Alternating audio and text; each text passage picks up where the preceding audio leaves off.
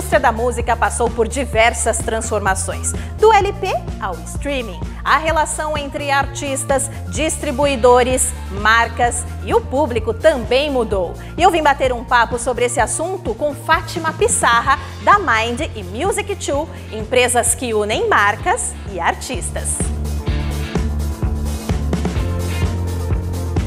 Fátima, a indústria da música passou por diversas transformações ao longo do tempo. A gente saiu do LP, foi para o streaming, a relação das marcas, das pessoas com os artistas também mudou.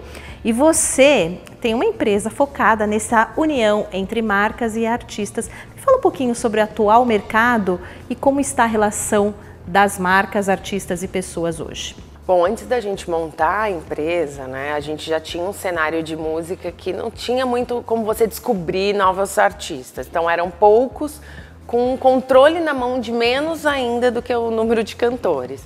Eu acho que com a chegada da internet, todo esse universo digital, o número de artistas aumentou muito e a possibilidade de você ser alguém no mar é mais fácil, né? Então, tem, hoje tem muitos artistas que se lançaram sozinhos, começaram sozinhos. Então, a, o mercado independente cresceu muito, o volume de cantores e hoje a briga é, é muito mais complicada, né? Quando a gente montou a empresa há nove anos atrás, o mercado de, de música já estava borbulhando com esses novos nomes, é, um pouco menos o, as gravadoras sendo donas de tudo, né? A possibilidade dos cantores se mostrarem além de ir só num programa de televisão, isso já estava fervilhando. Então já tinham vários nomes aí surgindo e tudo isso crescendo.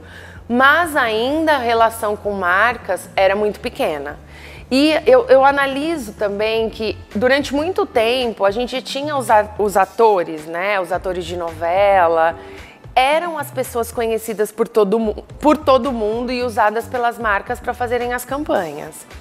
E com a vinda do digital, hoje você tem grande parte dos artistas conhecidos pelo público mais velho, a outra metade conhecida pelo público mais novo, e você tem os cantores aí um pouco ultrapassando isso e conhecidos pelos mais velhos e pelos mais novos. Então você pega tipo Lua Santana hoje, a Ludmilla, são artistas mainstreams que é, passam pela, por todas as idades. Então as marcas acho também começaram a ver os cantores como possíveis porta-vozes para falar com seus targets de uma maneira mais ampla.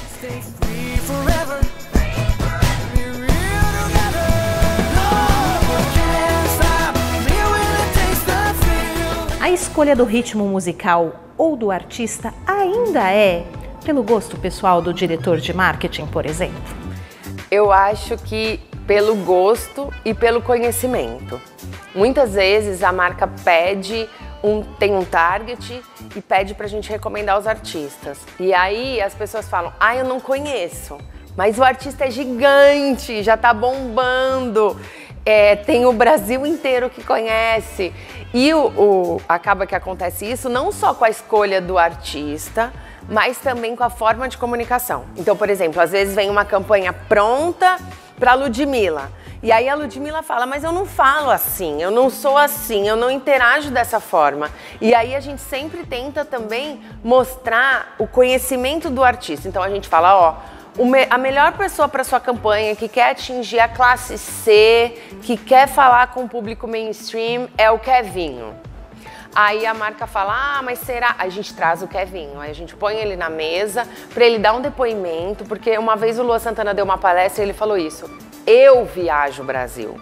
Eu tô do Iapoque ao Chuí, indo em muitos shows. Eu sei como falar com essas pessoas. E aí, quando ele conta essa história para a marca, a marca acaba se abrindo um pouco. E ainda existem muitos preconceitos com relação aos ritmos musicais aqui no Brasil e por parte dos diretores? Existe um desconhecimento muito grande também. Então, por exemplo, hoje a gente tem o Ferrugem, que é um dos maiores nomes da música. A música mais ouvida no Spotify é dele.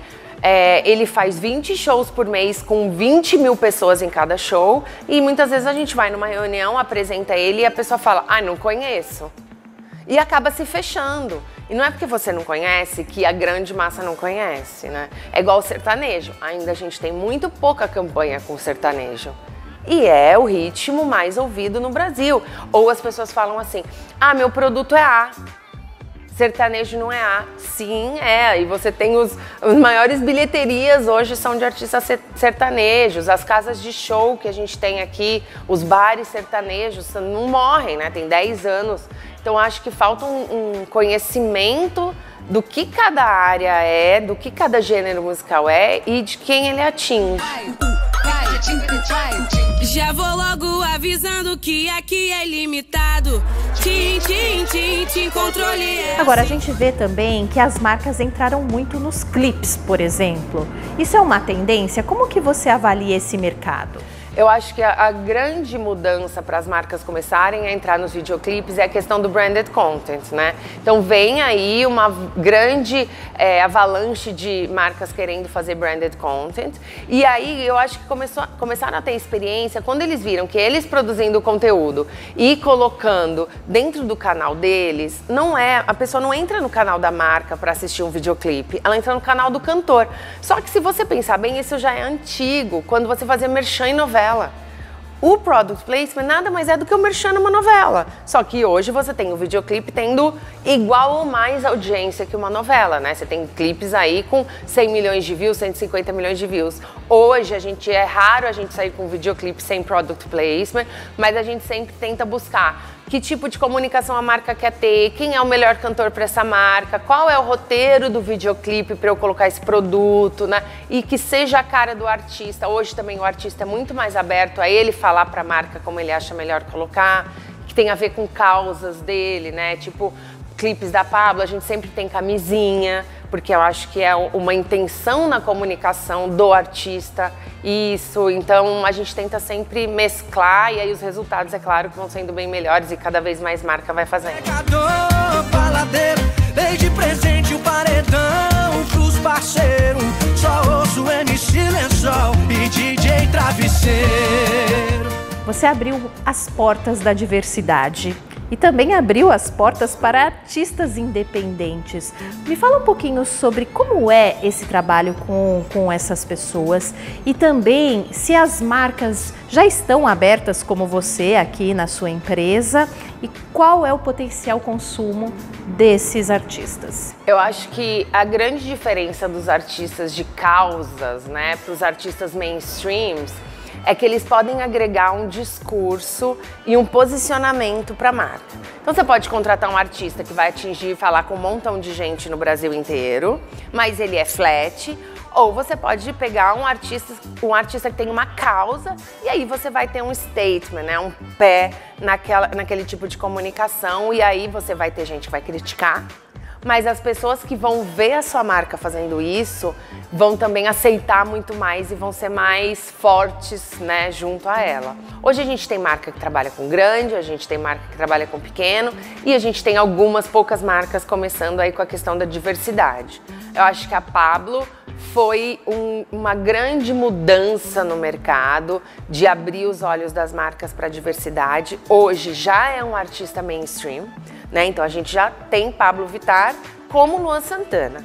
Todo mundo no Brasil sabe quem é. Já ouviu uma música, já foi impactado. Então a gente já considera um artista mainstream. Mas quando uma marca vai contratar para uma campanha, ainda tem um preconceito e um medo da reação das pessoas. Então eu acho que a gente está vindo aí com os nomes da diversidade, a gente apoia, a gente trabalha com a Pablo, a gente trabalha com a Pepita, que é trans, a gente trabalha com a Aretusa, a gente trabalha com Matheus Carrilho, a gente trabalha com N artistas aí de, que não são os grandes mainstreams, mas são diversos. E a gente vê que muitas vezes as marcas ainda falam assim: ah, eu quero ir além, mas nem tanto. Eu quero mudar, mas eu tenho medo.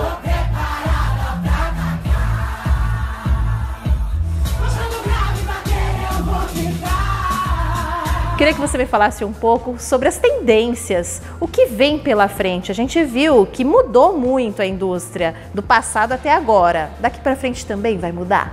Eu acho que o mundo da música vai mudar muito, mas no fim vai ser sempre aquela música que você se apaixona, que toca o seu coração, que vira um hit na sua cabeça durante um determinado tempo. O em volta dela, como as marcas vão se relacionar, como os artistas vão se desenvolver, se vai ter pouco ou muito artista, isso vai mudar muito. A gente já vê uma mudança grande na indústria, então as gravadoras mudando, os serviços de streaming crescendo, as marcas começando a trabalhar mais com música. Então eu acho aí que tá, tá um grande liquidificador girando agora para a gente ver um bolo indo para o forno e crescendo cada vez mais para frente.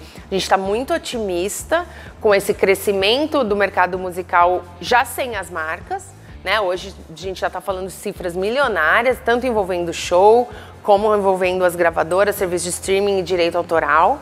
E a gente vê as marcas cada vez mais se unindo e aí você está falando de uma indústria grande aí, financeiramente bem importante dentro do, do bolo total de verba, né? Fátima, obrigada pela entrevista. Muito sucesso para você. Obrigada a você.